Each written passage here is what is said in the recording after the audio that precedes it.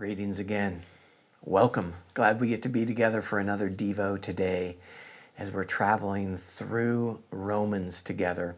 We're going to be in the fourth chapter, and uh, we're picking it up in verse 17.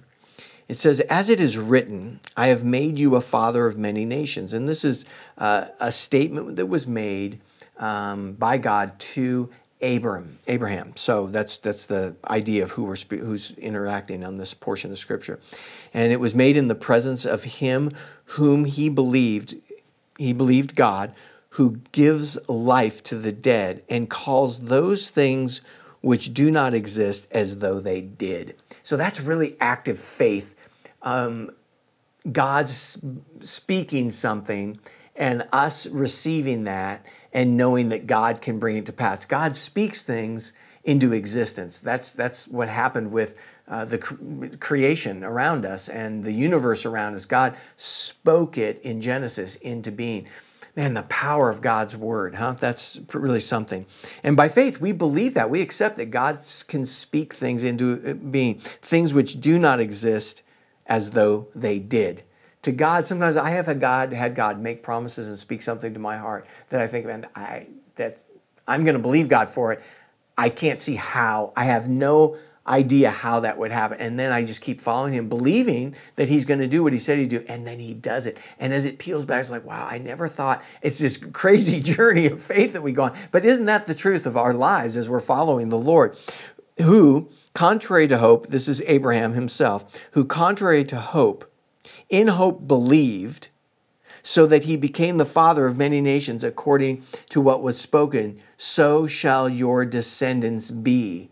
And this is the thing, he had no descendants. He had, he had no direct offspring at the time this is spoken to him. He had no children, and God saying, No, so shall your descendants be. And he he is old now. There's no hope of him having children with Sarah. There's no hope of that happening because their their bodies aren't able to function like they used to. And so reproduction isn't isn't likely the case. And but he's believing God for it still. And not being weak in faith, verse 19, he did not consider his own body already dead since he was about a hundred years old, and the deadness of Sarah's womb that she she's past child. They're both past childbearing years, you know, uh, to be stated simply.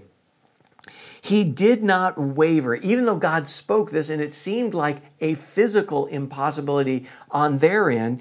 He says he did not waver the promise of God through unbelief, but was strengthened in faith, giving glory to God now we know there's a whole lot of storyline with this that's not being stated. Isn't it great how in grace the, the, the New Testament is reviewing because it, of all of God at work because Abraham did ultimately believe God for it. But there's also Hagar incident and other things in there where he tried to do things on his own and, and it didn't really, Sarah and him did, and it didn't go turn out too well. But but the idea is, is that the Bible's remembering not the, the, the failures of our humanity, but where we did rely on God, how God honored that. So it's the gracious review, isn't it? How God looks at things through grace, the lens of grace. I, I just want to interject that for a second. But um, he did not waver at the promise. He believed, he trusted God for it. His focus was not on his own limitations, but he believed God for it. And then he also um, was strengthened in faith. I think that's awesome, giving glory to God. So he worshiped the Lord also, you know, believing God. You know, he wasn't focused on his own limitations um, he, he trusted the Lord in this. He kept his expectations high. And then he let God do this, and God, he continued to worship it. And being fully convinced that what he had promised in verse 21, he was also able to perform. Isn't that great? As we give it to the Lord, the agent at work, that God is able to perform it.